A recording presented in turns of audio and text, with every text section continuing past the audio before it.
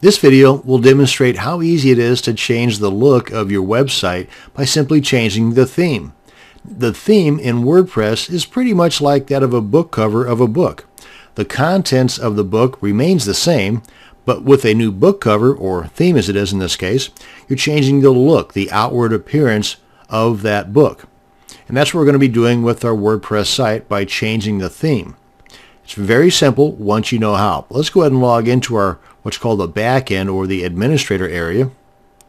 Since I'm already logged in, I was able to access this by just clicking on that link. If you're not already logged in, then what you want to do is type in wp-admin right after your URL. Then it will prompt you to enter your username and password. A little box is going to pop up and it'll ask for your username and your password. Enter that information and then you'll end up here.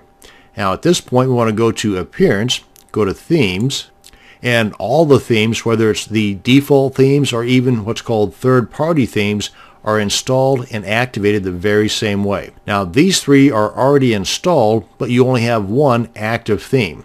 Let's go ahead and install another theme. Come on up here to install themes.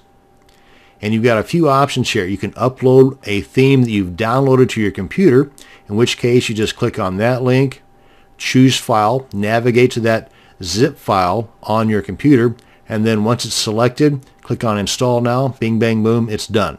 Then all you have to do is activate that newly installed theme. Then that activated theme will be the one that shows up on the front end. Now you can also search for new themes through featured.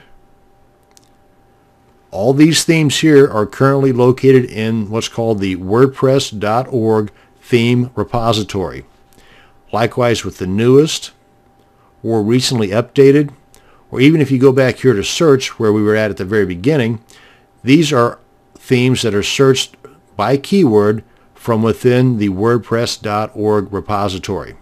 Let's go ahead and go to feature just to demonstrate how easy it is to install and activate a brand new theme. Oh, let's just go through here and eeny, meeny, miny, mo. Let's try this guy right up here. Yeah, how about that one? That's got some colors to it. PageLines. Install now, or you can preview it, which basically will let you see what it looks like. Eh, I can pass on that. Let's go ahead and close this one out. Come on back here and let's take a look at this guy right here. Preview. Okay, yeah, it's kind of plain, but for the sake of this video, I think it'll work. Let's go ahead and click on install. And you've got some details about it here as well. Now at this point, you can either live preview it, you can activate it, or you can return to the theme installer. Let's go ahead and do that. Return to theme installer. Actually, let's just come on back to themes. You can see the one that is originally installed and activated, the one that's currently on the browser. But this is what it looks like whenever you have a newly installed theme. And if we wanted to, we can simply just activate it, and then it will be the one that shows up in the browser. Go ahead and click on dismiss to get that out of the way.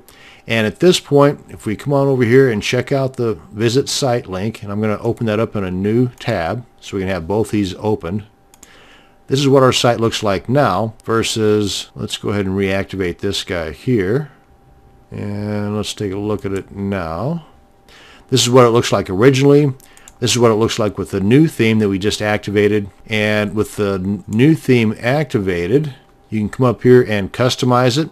You can add widgets, menus, and other theme-related items that are specific to that particular theme. In other words, you won't find some of these options available with some of these other themes. If we come on into here, go back into themes, you see here you don't have the same options available here as you do here. So again, some of these items are theme specific, but it's rare that you'll be able to break anything by just playing around with this stuff. Worst case scenario, you can always go back and activate one of the default themes and you'll be good to go. And that's an introduction to adding a new theme to your WordPress website.